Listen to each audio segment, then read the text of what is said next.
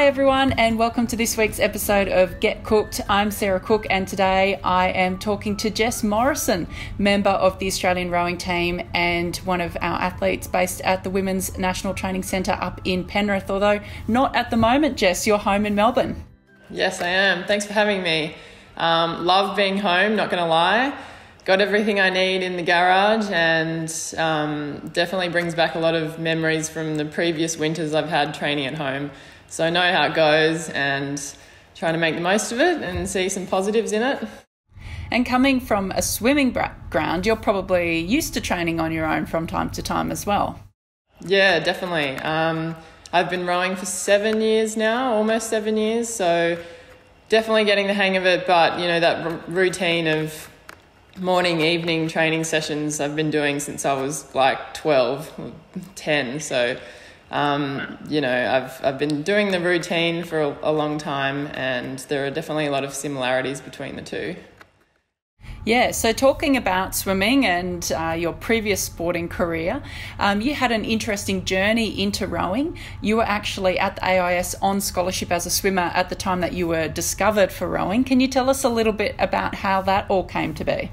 Yeah, definitely. Um, you know, a great time for me, just in terms of um, taking an opportunity. I never thought that I would do rowing at all. Um, my school uh, rowing coaches tried to get me to do it when I was in school, but it always clashed with swimming, so I never really gave it a go. Um, I was up in Canberra in 2012 and 13. Um, I hurt my shoulder and had to have uh, a shoulder reconstruction in May of 2013. And during the rehab process, I um, was in the gym a few times on the ergo. Um, I'd met Kim and Scott Brennan the year before in the altitude house at the AIS, so I sort of developed a friendship with them then. And it was sort of by chance. Kim sort of told me one day, Oh, why don't you try rowing? You'd be great at it. Um, she was like, Come to the gym, I'll introduce you to Lyall, her coach at the time. Um, and so off I went one day and met Lyall and the rest of the rowers, and he sort of got me on the erg and did a few short pieces. And um, from there, I sort of went down to the sheds every so often and learned how to row in the single and in the double. And obviously, this was all sort of in secret because I was sort of rehabbing back to swimming. Um, and that's sort of how it sort of evolved from there. And um, I moved back to Melbourne the end of that year, and I was supported by the VIS as like a transfer athlete. Um, and so that's kind of how it all started. So I was injured and given an opportunity, and um, never looked back, I guess. It's amazing that Kim was the one that suggested it to you because she had a very similar journey into the sport. Um, she was injured from track and field, had stress fractures in both of her feet, was rehabbing on the ergo at the VIS, and one of the VIS rowing coaches at the time, John Cumper, saw her and, and did exactly the same thing, suggested, why don't you come across to rowing? And obviously that paid huge dividends for her as, as it has for you. So it's amazing that someone that came through that journey herself was the one that suggested the same path pathway for you. Yeah, I know. Um, you know, it was definitely unconventional. It wasn't a, a, rowing coach, you know, or a program that sort of found me. It was just, you know, a friend at the institute, and uh, I'd lost my scholarship at the time um, for swimming, so that was due to run out by the end of that year, and I was sort of just rehabbing and training away, and I was, you know, in a pretty sad state, and my Olympic dream was basically crushed. All I've ever wanted as far as I can remember, was you know to represent Australia, um, the Olympic swimming. So never crossed my mind that I would you know get there doing another sport. Um, definitely goes to show that you know if one door closes and another can open, you've just sort of got to be open to different opportunities um, and embrace things that come your way that you might not have thought for yourself. Absolutely, and and that was one of the great things about the institute. I was a scholarship holder there for many years, and and that's how I talent tra- transferred into into sailing. So you know, it was such a great environment, high performance environment, and it it really does make sense that if you're talented in one sport, but you you know that door closes for whatever reason, injury in your case, to then be able to transition into another sport. And now we look at you seven years down the track you're a world championship medalist, you're on track for your second Olympic Games. It really is a pretty amazing story that you've had. Yeah, I've been very lucky and very grateful for all of the support I've had along the way. It hasn't um, been a very, I mean, it's been a very up and down journey. I was definitely injured a few times in my transition, um, and it took a while to sort of get the hang of rowing, but you know, it eventually came good after a few patient years. Yeah, well, swimmers tend to make excellent rowers. Um, you know, we've seen someone like Ollie Zeidler, who came from a um, competitive swimming background into rowing only two or three years ago. And, you know, we know that some of those skills are really transferable. You're strong, you're fit, have a great engine, you know how to train, you've been in a structured training program from a very young age, you know how to compete, you have that mentality, um, and, and that's all you know things that you can take into rowing and that are highly transferable and important. But can you tell us about some of the challenges that you faced in terms of cha- changing yourself physically from a swimmer to a rower a sport very i guess upper body dominant to one that was predominantly lower body based? Yeah definitely. Um, it, it took about about a year and a half to make that physical change of strength moving from my upper body to my legs. When I first started rowing, I basically rowed with my upper body. Um, and it wasn't a surprise that I got my first rib stress fracture four months, you know, into rowing. Um, and then I had a back injury that year as well. So I, I was very used to you know, the volume of training that's quite similar with swimming and rowing. You know, you've got 10 sessions a week swimming and something similar to rowing, you've got your three weights. Um, I wasn't used to sort of the endurance, um, K's on the bike, you know, just the, the, I mean, my event for swimming was a minute to two minutes long. Um, and then you go to rowing and everyone races 2Ks, and that's quite a big difference in terms of um, how you have to prepare for that.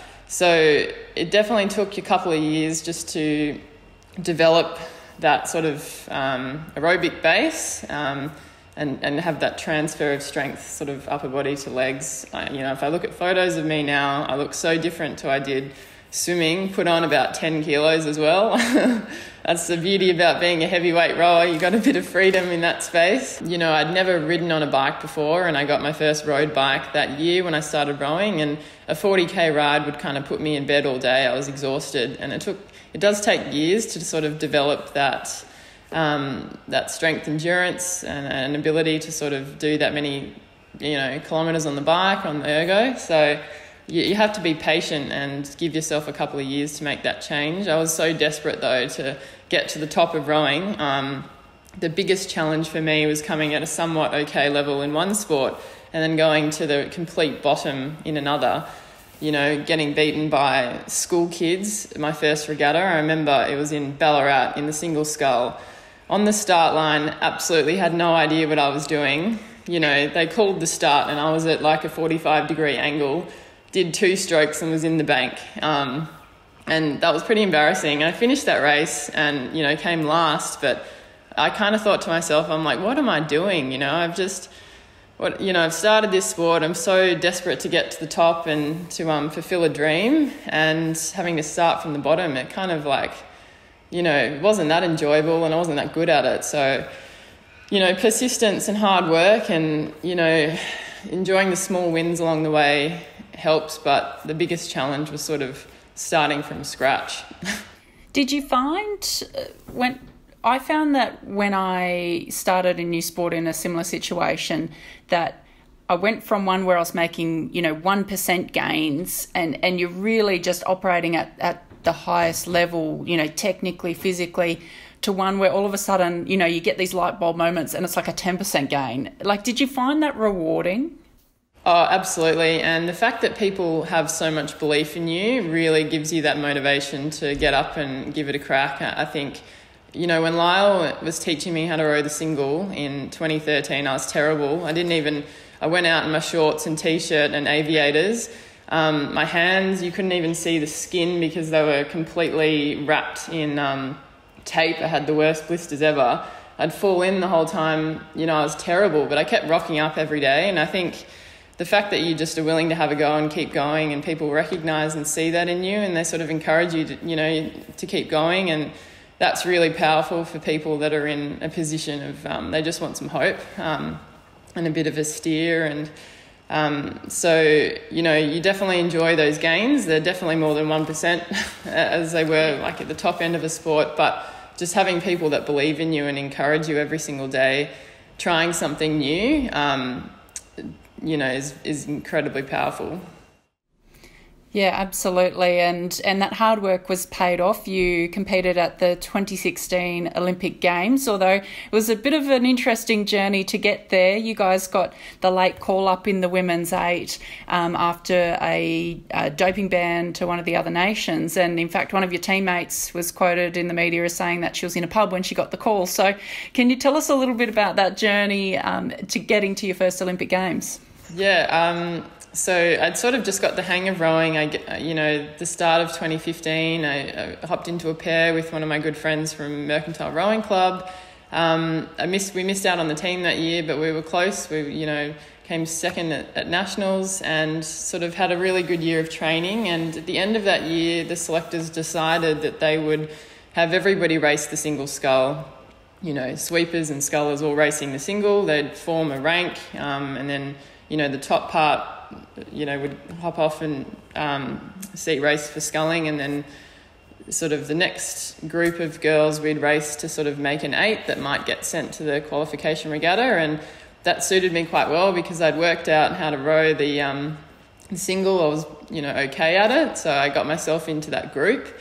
Um, and so qualified, you know, made the eight based on rowing the single scull, which is maybe a bit different than normal. Um, trained, you know, in Sydney with the girls and Mark Fangen-Hall, our coach, and you know, thought we were going pretty fast. We were pretty fast, and um, went off to race the qualification regatta, and um, you know, we came third. Unfortunately, not the top two that you need. Um, so, another you know sad time of my sporting career, and went home, and uh, I didn't think that there was a chance that we could get a call up. I know some of the girls were sort of um, reading about it a lot, and our group chat was pretty active. You know, when we'd share some articles about, oh, you know, you know, um, Russia could be banned. What do you guys think? And um, I didn't really think too much about it.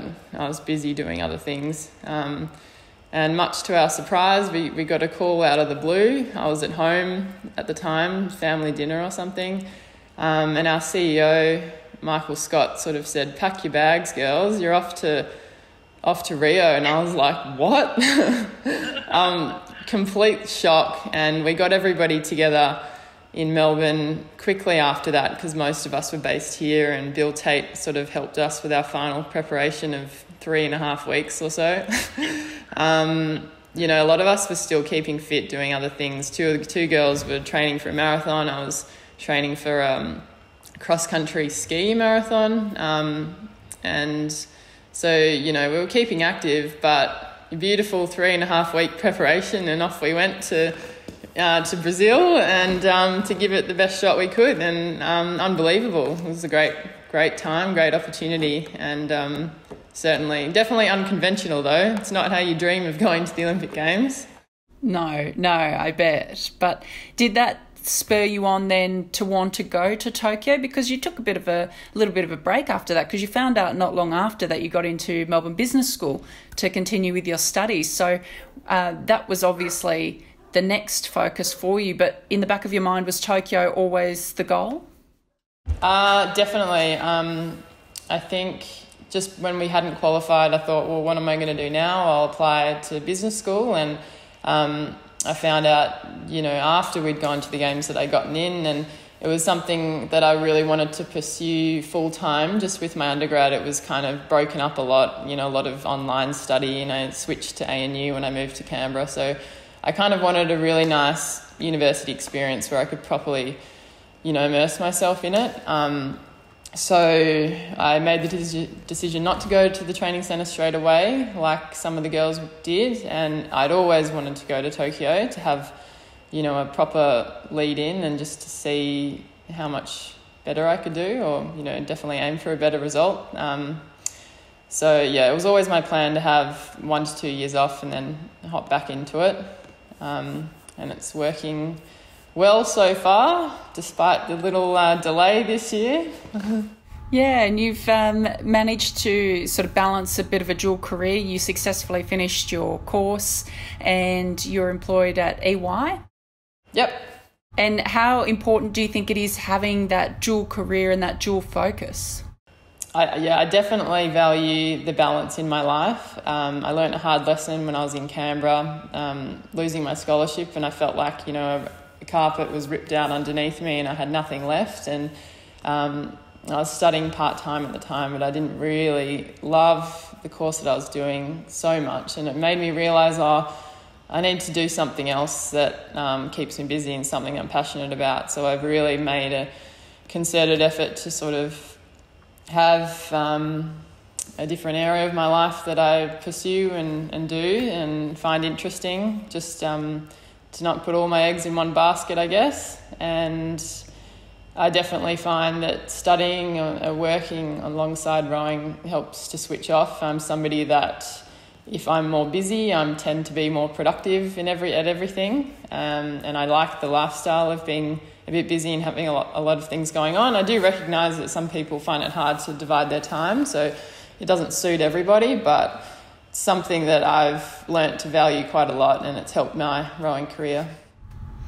Absolutely. No, I totally agree with you. So well done, because I know that it does get really tough, especially, uh, you know, when you're studying and you've got a lot of assessments and, and things like that, but um, also managing work in your case um, at EY as well. So obviously the system has changed through the two cycles. You were I guess at that point where we moved from one system, a, a more federated system in the sport, to now a centralised training model um, where we've got a men's centre in Canberra, a women's centre up in Penrith. Can you tell us a little bit about how the support has changed and how that dynamic has changed and and we're obviously seeing huge success now, particularly with the women's squad at the World Championships last year. Can you talk to, um, I guess, some of the benefits of the of the centralised model and the support that you're getting, particularly from Mrs. Rinehart as well? Yeah, absolutely. Um, so you know, I wasn't around for the complete cycle with rowing um, prior to the centralised system, but it was definitely um, up to what state you're in and, and you followed the program of your state institute and you rode with people who were in your state unless you could afford to um, travel around and find pair partners. So it was all a little bit messy and um, and everyone was doing different programs and you know getting different results based on different preparations and you'd sort of do national ergs and receive a spreadsheet and you'd see some awesome scores and you're like cool how do those people get those scores what programs do they do so it was all always that, um, you know, um, the state based system definitely worked for individuals, um, but as a collective, when people came together, it was kind of find, hard to find synergies or everyone compromise on a, on a training program. Um, that was the case when we came together in the eight in 2016. You know, we'd all done um, different training programs, and then we all had to come together and align on a new vision and direction of one coach. So that's a challenge. Um, the centralized program is great because you know we have all everybody together in one place, and that solves the biggest challenge that we that rowing had, I guess, beforehand. Um, and you know you get to see every day what what everybody does in training on you know in the gym and on the erg and you know, everybody knows how good Georgie Rowe is on the erg, breaking all these world records. Um, and we're lucky that we get to train with her every day. And I was in the room when she broke, you know, the 5K record on the ergo. How many times do you get to say that you were in, you know, in the same room as somebody doing that? And, you know, that's a benefit of the centralised program. You've got top talent all together, training together all the time. Um, it wouldn't be possible without the support of Mrs. Rinehart. Um, you know, affording us the opportunities to come together in one place and um, the, the support that we get to live there. Um, we have an incredible team, you know, physio, nutrition, massage, everybody there to help us be the best that we can be every single day. Um, and sort of isolated, I would say, a little bit in Penrith. You kind of don't have those distractions that you might have in a big city or in Melbourne, you're purely there to, to row, or at least I am. And so you're definitely focused on task and what you're there to do um, with the best support possible and the opportunity to row with, you know, the best girls in the country. So there's no doubt um, that all those reasons contribute to the success of the, the program over the last few years. Absolutely, and a, and a pretty good team of coaches there leading you guys as well. Um, so we've got some questions in from our listeners um, who uh, really do want to know, I think, about your transition from rowing, um, sorry, from swimming to rowing. Um, and I guess in that vein, someone wants to know what do you like better, long or short distance rows? I mean, I think it's a no brainer, but I'll put it over to you. I'm not, aerobics probably not my strength. I like the shorter stuff. You know, I'd rather do 10 500s race pace than a 20k paddle, to be honest. I'm with you. I'm 100% with you there. Um, and what's your secret recipe, if you have one, um, to achieving that high performance mentality? Do you think it's something that is innate? Is it something that you're born with, or is it something that you learn and develop over time? Um, oh, there probably has to be some element that you're born with it because there has to be a reason that gets you signing up to a club at an early age and wanting to pursue a sporting dream. Um, and, and definitely training in an environment in a club where you see, you know, top level athletes and you want to be like them and you see what they have to do to get to where they are. And um, definitely a lot of it is developed over the course of your sort of training and the environments that you're in. Do you enjoy rowing as a team or swimming alone more? And do you miss swimming? Uh, I miss swimming a lot um, in, in the early days of my transition. Um, I loved having complete ownership of a result and training on my own. I'm, when people say you're a rower, you're either an eights rower or like a single scull rower. Sometimes I align more with being a single scull rower, just being like I, you know, um, I'm a bit more single minded, like doing my own thing, love getting out the single and just doing training on my own. Um, so the element of sort of having complete control over your training and racing is something I enjoy. Um, I've learnt to really love and appreciate though the the elements of, of crew boat racing though um, that's come with rowing. So there's a time and a place for both, I think. Oh, so maybe 2024, a different pathway perhaps. We'll keep an eye out on what you do walk in the footsteps of Kimmy, maybe.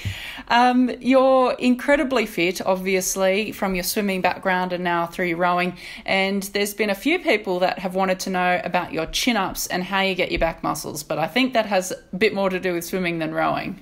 Yeah. Um, I was so weak when I was a swimmer. I was this like little lanky person that was not strong and couldn't get strong in the gym. Um, my swimming coach at the time said, uh, you know, Emily Seebohm gets up every morning and does chin ups before every swimming session. So I started doing that too. You know, rocking up to the pool at five and doing a couple of chin ups and doing your swimming session. And then over the years, I've done many different weights programs. Um, a couple of, you know, when I do four a week, and I got really strong over maybe eight years and, um, you know, developed quite a strong upper body, and that's come over to rowing. Um, I don't know if you need to be doing as, as many chin ups in rowing, but I can just do that just from having done swimming. But yeah, I was not strong when I was young, and I, it took you know years and years of work in the gym um, to develop that strength. Um, and once you have it, it kind of doesn't leave. Like if I don't do weights for a month if you're on a break, and I find that I'm easily able to pick it up again just because you've I don't know, developed those strength muscles before and they kind of never leave. Yeah, so a bit of muscle memory there. And before we move on to our fast five, we do have a question from one Georgie Rowe who would like to know Do you have a dirty treat yourself meal? Dirty treat yourself meal. um, Oh, gee, I, I live with Jacinta Edmunds, who's a phenomenal cook, um, and she makes this like sticky date pudding quite a lot, and absolutely love that. That's probably a dirty treat meal, I would say. That's pretty good. That sounds pretty good to me. All right, let's move on to our fast five. Uh, the last five questions that we ask everyone um, who comes on the show each week. Um, what's your favourite rowing course to row on? Well, I haven't rowed in too many, but Lucerne like was beautiful when I was there. Loved that. Yeah, yeah absolutely. Um, your top track to erg to? Uh, another chance, I think, by Roger Sanchez. Love it. Yeah. Golden oldie. Good. Uh, best piece of advice you've been given to date? Um, Lyall McCarthy, there is a difference between true pain and being and uncomfortable. Um, he said that to me when I was erging once, and I, it never left me. And I think about it all the time um, when I sort of approach a hard session. That is a great piece of advice, particularly when it comes to the sport of rowing. Um, your career highlight to date? Career highlight. Um, I probably, you know, winning the world the World Cup winner last year in the eight and the pair. That was pretty special. Um, and oh, I would say the whole of last year, really. But um, yeah, probably that. Yeah, it was an incredible season for, for you and all of the girls in the training centre. And, and I know that everyone who saw that, and I was fortunate enough to be in Rotterdam and, and see you guys at World Cup 3. Um, you know, everyone who saw those performances is really looking forward to seeing you guys in action in 2021 now.